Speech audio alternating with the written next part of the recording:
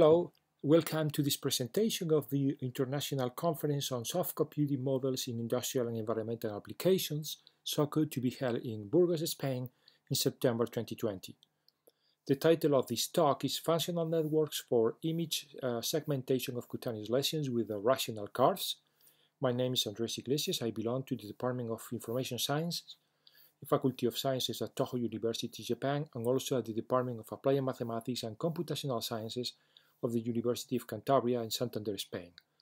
This talk is this work has been done in collaboration with my colleagues uh, Akemi Galvez from the same institutions and Professors uh, Iztok Fister and Iztok Fister Jr. from the Faculty of Electrical Engineering and Computer Science of the University of Maribor, Maribor, Slovenia.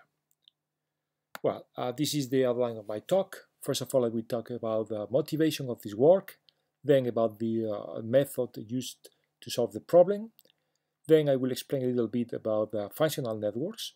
Then I will proceed with the experiments and results, then the conclusions, and finally questions and answers.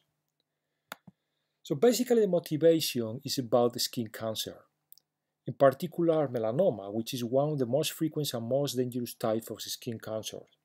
If you take a look at the figures I have here in this slide, we talk about uh, more than 3 million cases and more than 60,000 deaths in 2015 worldwide. This is a very important clinical problem, a medical problem, and for that, early detection is critical for survival. You take a look at the uh, survival rate for different stages, starting stage 1, which is between 20, uh, 95 97%, uh, but it is as low as 7 to 20% of survival for stage 4. So uh, early detection is very important uh, in order to survive from this disease. But one of the problems is that melanoma is very difficult to distinguish visually from other skin diseases such as carcinoma and other, other problems. So basically the methods we have uh, to, to identify melanoma, which, uh, such as the ABCD method, the seven-point checklist, the Menzies scale, on different kinds of biopsy, uh, rely strongly on human intervention and the uh, one uh, additional problem is that the, the, different diagnostic results change uh, from dermatologist to dermatologist. So they re strongly rely on experienced dermatologists, but even in this case, they can vary from people to people. Uh, the first step in, in this diagnosis is to classify the skin lesion as being benign or malignant and this involves image segmentation, which uh, requires border detection, which is basically to determine what is the border of the skin lesion taken from dermoscopic uh, images and other kind of images. So you have to distinguish which is the real lesion from the image background. And it, basically the procedure is, is based on the visual interpretation of images yeah, and therefore is prone to errors. So it is important to determine a semi-automatic diagnosis uh, method for this based on computer.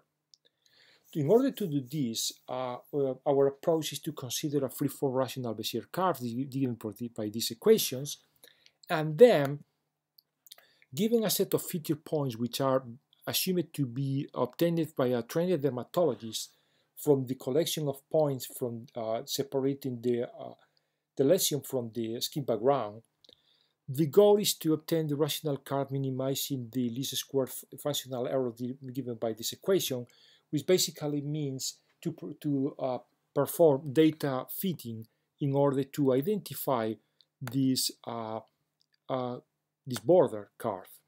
Okay, so and this means basically doing some maths written here, the test can be found in the paper, basically to solve the, we call it the normal equation. This is a very hard optimization problem because it is continuous, it's overdetermined, it's nonlinear, and it's multivariate. So the approach followed here uh, in, this pay, in this work is to apply functional networks. Um, to, in order to understand functional networks, I, I, have this example. You can find more details in, in my book, Functional Equations in Applied Sciences. But basically, the idea is that we have a network which is an a powerful extension of the neural networks. Uh, so functional networks can be understood as a, an extension, as a powerful extension of neural networks, in which we have several arguments. The neural functions in functional networks have several arguments, also can, can be multivariate. The neural functions can be different, where, while uh, in neural networks they are identical, and also there are no ways but functions instead. So uh, basically what happens is that uh, neural, uh, the neural outputs can be coincident, uh, leading to a set of functional equations which have to be solved. In particular, in this work, we consider this functional network. And in order to solve the problem, we have to learn the function phi of t, the tau, which in turn requires to learn the, the different uh, component functions and the poles in, this, in the expression of the uh, functional error. Uh, of, uh, this uh, requires a learning process for the polynomial functions and the ways involved in, this expression of the rational form. Uh, here we have some illustrative examples. Basically, uh, we uh, start with a benchmark of 12 different medical images taken from a public repository. I, I display here some examples just to illustrate how difficult it is to identify which is a, benign or malignant melanoma. Here you have different examples. As you can see, they can vary a lot in size, in shape, in color, uh, in volume and others on other properties, visual and uh, medical properties. So it's quite tough to distinguish which ones are melanomas from other skin lesions and actually with uh, even among the melanomas which are uh, benign or which are malignant. And here the results we get. in this table we display the results for uh, the different examples are shown in the first column. We have 12 different examples in our benchmark, benchmark. And then we have different methods, thresholding, clustering, the polynomial fitting, uh, a multi-layer perceptron neural network, and in the last column, our method. And best results for each example are highlighted in bold. So as you can see, basically with uh, our method, we get uh, fitting errors of the order 10 to minus 2, 10 to minus 3, uh, and in most instances of this benchmark, our method outperforms other methods available in the literature. So, uh, as the conclusions in this paper, we address the problem of image segmentation for medical images of cutaneous lesions, in particular melanoma. We seek to compute the border curve separating the lesion from the image background. The curve is constructed through data fitting from a collection of points lying on the lesion boundary. Uh, in this world, the boundary curve is assumed to be rational instead of polynomial, which is the most common but also simpler case in the literature. Um, uh, in order to perform this data fitting, we address the problem by using functional networks, which is a powerful extension of the classical artificial neural networks. And the main conclusions of this work are that the method performs pretty well. It actually outperforms the polynomial approach and other classical approaches in the literature, such as clustering or thresholding, and also multi-layer perceptron neural networks, in terms of accuracy for all instances in the paper, of almost all instances in the paper. But the, the, this method is probably not optimal yet, in the sense that it can be further improved.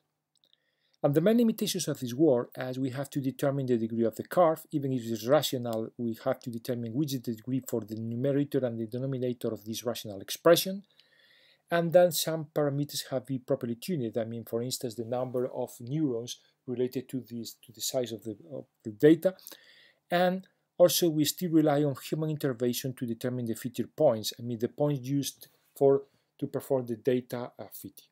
So there are some limitations we have to deal with in the feature work. So this is the end of my uh, short talk. Thank you very much for your attention. Uh, we'd like to first uh, uh, finally, we, have, we, would like to thank these uh, sponsors, the Spanish Ministry of Science, Edu Innovation and University, the SODERCAN, the Regional Society of Cantabria, the Slovenia Research Agency, and the European Commission through the European project PDA uh, involving several uh, partners shown here. Thank you very much for your attention.